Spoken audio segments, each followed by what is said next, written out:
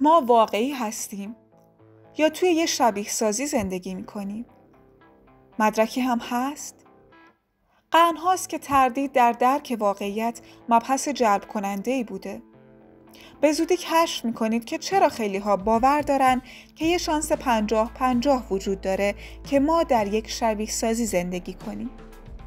حالا آماده بشیم که ذهنمون رو گول بزنیم.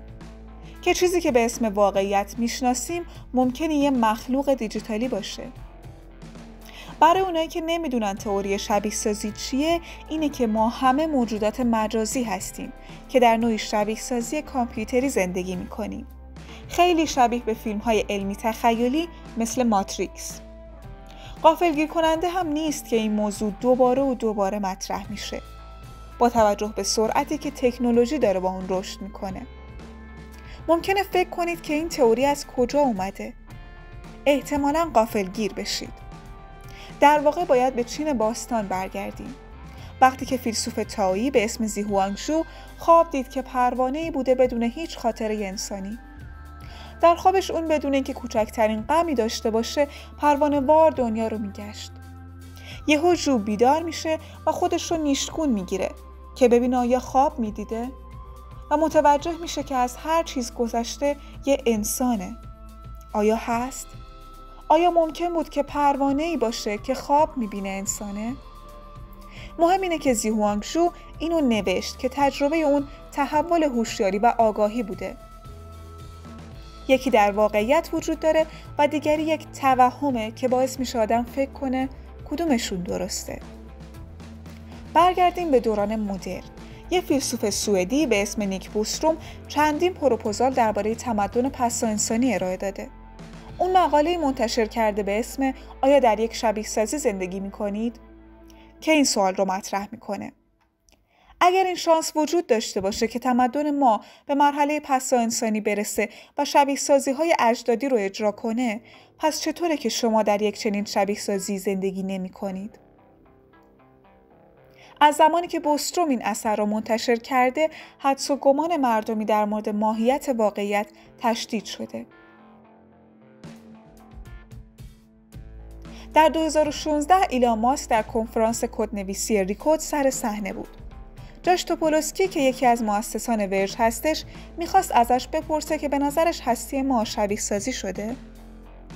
ماسک از این مثال شروع کرد که ما از بازی خیلی ابتدایی Pong به بازی های multiplayer آنلاین گسترده رسیدیم که گرافیک های واقع گرایانه دارن و میلیون ها بازیکن همزمان در اونها حاضرن. و الان به ژانر جدیدی از واقعیت مجازی و تقویت شده که به باورش چنان واقع گرایانه میشه که تشخیص واقعیت از غیر واقع سخت میشه. چه طرفدار ایلان باشید چه نه اون از حرفش منظور خاصی داشت وقتی که گفت اگر سرعت پیشرفت رو در نظر بگیریم نهایتا بازی ها از واقعیت غیرقابل تشخیص میشن. اون ادامه داد و گفت که اگر سرعت پیشرفت هزار برابر از حد فعلی کمتر بشه و فرض کنیم ده هزار سال در آینده هستیم که در مقیاس تکاملی عددی نیست احتمال اینکه در واقعیت پای زندگی کنیم یک در میلیارد هستش چیزی که ترسناکه اینه که ماس گفته اگه تمدن پیشرفت نکنه احتمالا به خاطر یه رویداد فاجعه آمیزه که تمدن رو محو می‌کنه ماس گفت ما دو تا انتخاب داریم یا شبیه سازی هایی خلق می کنیم که از واقعیت غیر قابل تشخیص هستند یا تمدن دیگه وجود نخواهد داشت. ولی آیا ما صرفا آواتارهایی هستیم که موجودات به شدت هوشمندی از یه واقعیت دیگه هدایتشون می‌کنن؟ فکر کنید یه شانس پنجاه پنجاه هست که در یه شبیه سازی زندگی کنید. در واقع حتی اختر فیزیکدان معروف نیل داگراس تایسون این ایده زندگی ما در شبیه سازی رو تا حدودی معتبر دونسته. ولی افراد شکاک زیادی هم داریم. یک فیزیکدان دیگه به اسم فرانک بیلزک اینو گفته که پیچیدگی های هدر رفته زیادی در جهان وجود داره و نمیشه که یه شبیه سازی باشه. ساختن پیچیدگی به انرژی و زمان نیاز داره. باید بپرسیم چرا یه طراح هوشیار و هوشمند این همه منابع رو صرف این کنه که دنیای ما رو از چیزی که نیازه پیچیده تر کنه. بقیه استدلال کردن که این سوال علمی نیست و چون نمیشه فرضیه شبیه سازی رو تست یا اثبات کرد ارزش تحقیقات رو نداره. با این حال تمام این بحث ها و مطالعات فرضی شبیه سازی ممکن عنصر کلیدی تحقیقات علمی را از دست داده باشند. بررسی امپریکال و جمعآوری داده پس برای درک اینکه داریم در یه شبیه سازی زندگی می کنیم باید با نگاه به این واقعیت شروع کنیم که رایانه هایی داریم که شبیه سازی های مختلفی رو برای هوش های سطح پایین تر یا الگوریتم ها اجرا می کنن. این هوش ها رو به صورت NPC یا شخصیت های غیر بازیکن در نظر بگیرید که می‌تونید در تعداد زیادی از بازی های نقش آفرینی multiplayer آنلاین گسترده پیدا کنید. لازم نیست این NPC ها هوشمند یا هوشیار باشن و لازم هم نیست که خیلی پیچیده باشن. چون مدرکی که ما دنبالش هستیم توسط تمام برنامه های ساده یا پیچیده رایانه ای که در تمام رایانه ها اجرا میشن تجربه میشه. بی توجه به اینکه رایانه ها سریع یا کند باشن. تمام سخت افزارهای رایانه ای سازه ای از حضور خودشون در دنیای شبیه سازی که اجرا می‌کنن رو به جا می‌ذارن. و این سازه همون سرعت پردازنده هستش. وقتی در این بستر از سازه صحبت می کنیم منظورمون واحد پردازش مرکزی هستش که توسط انسان طراحی و تولید شده. تصور کنید که شما یه برنامه رایانه ای هستید که در یک رایانه اجرا میشه. تنها سازه سخت افزار که شما رو پشتیبانی می‌کنه سرعت پردازنده هست. تمام قوانین دیگه که تجربه می کنید قوانین شبیه سازی یا برنامه هستند که بخشی از اونید. اگه یکی از سیمهای درون شهر سیمها باشید یا یکی از شخصیتهای دنیای وارکرافت اینها قوانین دنیای بازی خواهند بود. با این حال هر کاری که کنید تا به شبیه سازی فشار بیارید توسط سرعت پردازنده محدود میشه. فرقی نداره که قوانین بازی چیا هستن. به عبارت دیگه سرعت پردازنده یک واقعیت فیزیکی رو به عملیات دیکته می‌کنه که از واقعیت شبیه سازی شده خود عملیات جداست و مهم نیست که شبیه سازی چقدر کامل باشه. سرعت پردازنده عملیات های شبیه سازی رو محدود می‌کنه. با این توصیف اگر واقعا در یه شبیه سازی زندگی می کنیم جهان ما هم باید یک سازه داشته باشه از این رو باید به ویژگی های دنیای خودمون نگاه کنیم تا ببینیم این سازه دقیقا چی می‌تونه باشه. باید سازه‌ای باشه که خودش رو در دنیای واقعی به عنوان یک حد والاتر نشون میده. به علاوه نمیشه این سازه رو با قوانین مکانیکی دنیای شبیه سازی شده توجیه کرد. باید اون رو به عنوان یک فرض قبولش کرد یا به عنوان یک واقعیت در قوانین عملیاتی جهان شبیه سازی شده ما در نظر گرفتش. نهایتا اینکه اون سازه مطلق خواهد بود بدون هیچ استثنایی. حالا که تونستیم ویژگی های این سازه رو تعریف کنیم چند دقیقه بهتون وقت میدیم که ببینیم آیا حد زدید که این سازه در دنیای ما چیه؟ اگر حد زدید که این سازه سرعت نوره پس به خودتون تبریک بگید. این مطمئنا با ویژگی ها و حد سازه در یک شبیه سازی رایانه جور هستش و بی توجه به سرعت مشاهدهگر یکسان میمونه. اون به عنوان یک حد حد اکثری تعریف میشه. نمیشه با توجه به قوانین فیزیکی جهان توضیحش داد و بیشک مطلق هم هست. زینرو می‌تونیم راحت به این نتیجه برسیم که سازه سخت افزاری سرعت نور ثابت می‌کنه که ما در یک جهان شبیه سازی شده زندگی می‌کنیم. این یه مشاهده جالب توجه درباره ماهیت مکان به دنیای ما میاره. اگر ما در یک شبیه سازی زندگی کنیم پس مکان یک ویژگی انتظایی هستش که کد نویسی شده و به عبارت دیگه واقعی نیست. با در نظر گرفتن سرعت جهانی نور احتمالا به همین دلیل باشه که نمی‌تونیم از یک کهکشان به کهکشان دیگه بریم چون ممکنه واقعی نباشن و هیچ جور ممکن نیست که هرگز به اونها برسیم. ولی این تنها چیزی نیست که ثابت می‌کنه ممکنه ما توی یه شبیه سازی زندگی کنیم. محتمل ترین نشونه ممکنه درست جلوی چشمای ما قایم شده باشه. یا بهتره بگم پشتتون.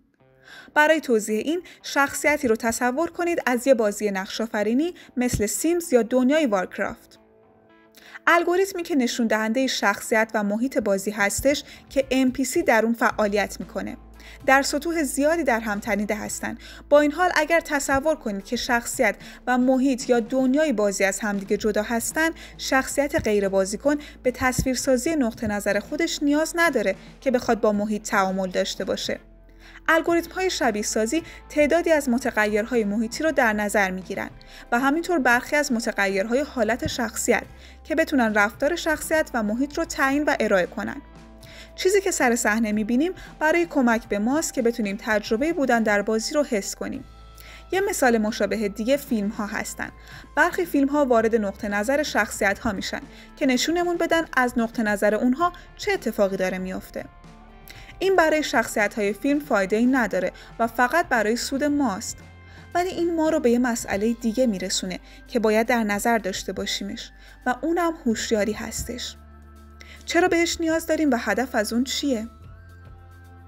اگر قبول کنیم که داریم در یه شبیه سازی زندگی می کنیم، تعریف کردن هدفش ساده است. میشه هوشیاری رو اینطور تعریف کرد. محل تعامل بین خود و ما بقیه دنیا.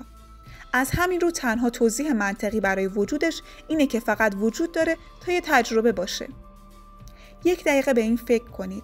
چیزی در فلسفه یا علم، تئوری ها یا قوانین وجود نداره که پیدایش تجربه‌ای که بهش میگیم هوشیاری رو پیش بینی کنه. قوانین طبیعی نیازی به وجودش ندارن و مطمئنا هیچ مزیت تکاملی به ما نمیده. پس فقط دو تعریف برای وجود هوشیاری ممکنه. یکی اینکه شاید نیروهای تکاملی وجود داشته باشن که ما ازشون اطلاعی نداریم و اونها هستن که پیدایش تکامل یا تجربه را انتخاب می‌کنن. دومی اینکه تجربه کاربری هستش که داریم یا شاید یک محصول هستش که خلقش می‌کنیم. تجربه‌ای که به عنوان انسان تولید میشه. ولی اگر مسئله این باشه و هوشیاری هیچ خدمت دیگری برای ما انجام نمیده ما این محصول تجربه رو برای کی خلق می‌کنیم؟